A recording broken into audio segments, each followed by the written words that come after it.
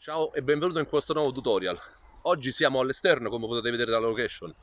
Nuova maglia, Zino Bianco. Oggi ragazzi ci occuperemo di un altro piccolo tutorial che è la calibrazione della gimbal.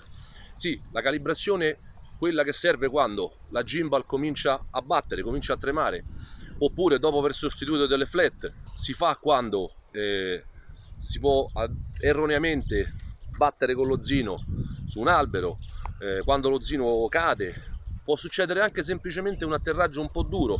Lo zino incastra le eliche nell'erba si cappotta mentre la gimbal è accesa e può andare fuori calibrazione.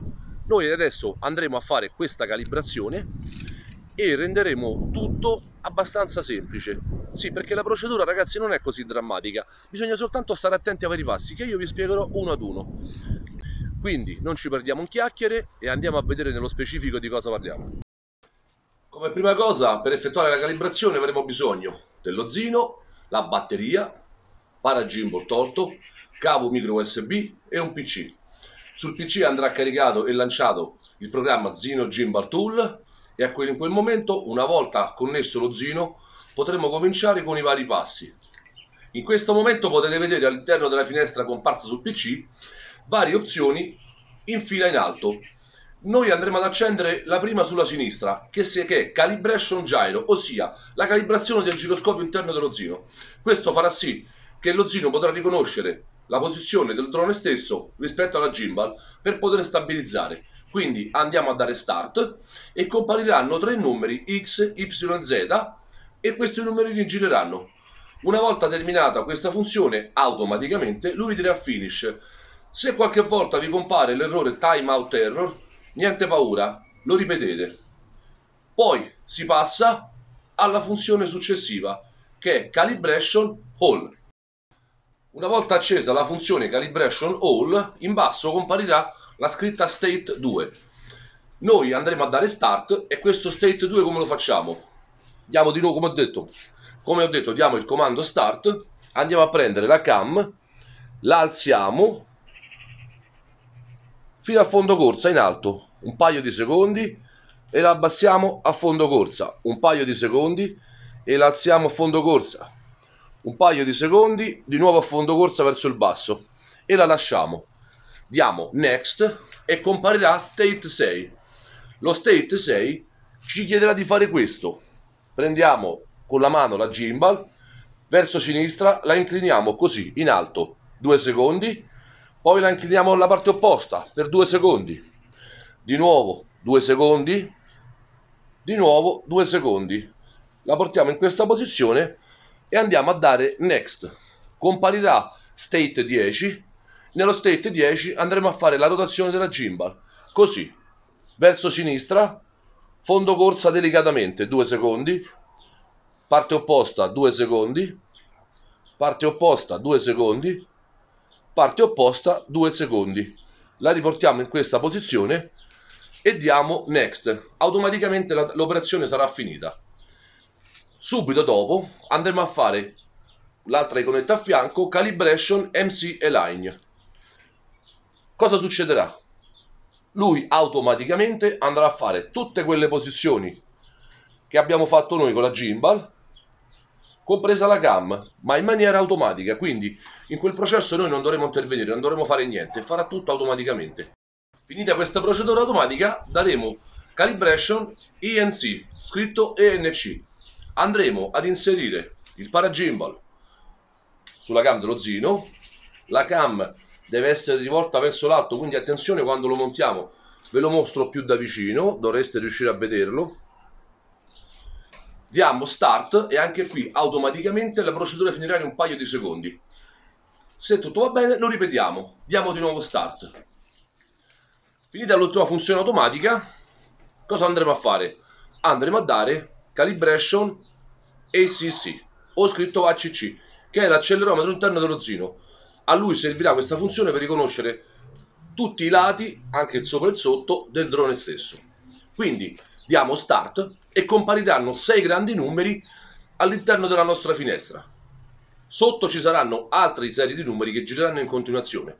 Quindi lasciando lo Zino perfettamente orizzontale sul tavolo si accenderà intanto uno dei numeri. Una volta acceso questo, lo metteremo sul lato sinistro, perfettamente verticale, non sbagliamoci, un acceso un altro numero, lo mettiamo a testa in giù, sempre perfettamente perpendicolare al, al tavolo, si è acceso un altro numero, lato destro si accende un altro numero, a testa in su e accendiamo un altro numero.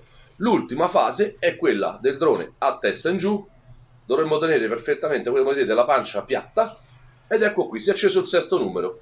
Ora andremo a riaddrizzare lo zino, scollegheremo il cavo micro USB, andremo a togliere la paragimbal, sfileremo la batteria e la rinfileremo.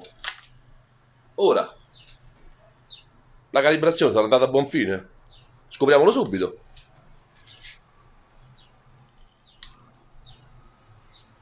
Guardate un po'. Gimbal perfettamente stabilizzata.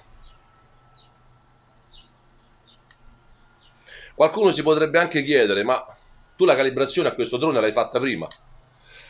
Beh, sì, l'ho fatta poco prima di questo video, perché ho dovuto mettere un post sul mio gruppo dove spiegavo che questo drone da questa parte non stabilizzava più. Purtroppo era un problema di una flat. Ho sostituito quella flat, ho fatto la calibrazione esattamente come vi ho fatto vedere passo dopo passo e come avete visto dal video il drone adesso stabilizza perfettamente. Quindi la procedura di, di, calibrazione ragazzi è finita. Come avete visto è semplicissima. Bisogna solo stare attenti ai passi. Quando andiamo a ruotare la gimbal e quando andiamo a fare acqua quest'altro lavoro delicatamente eh, fine corsa ma delicatamente. Non andiamo a forzarla perché la scrocchiamo detto in romano.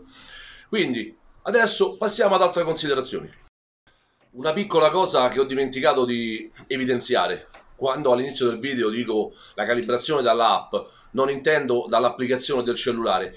Quella è una piccola calibrazione che si può fare quando a volte si ha l'orizzonte leggermente storto a causa del vento oppure un piccolo impatto sul terreno.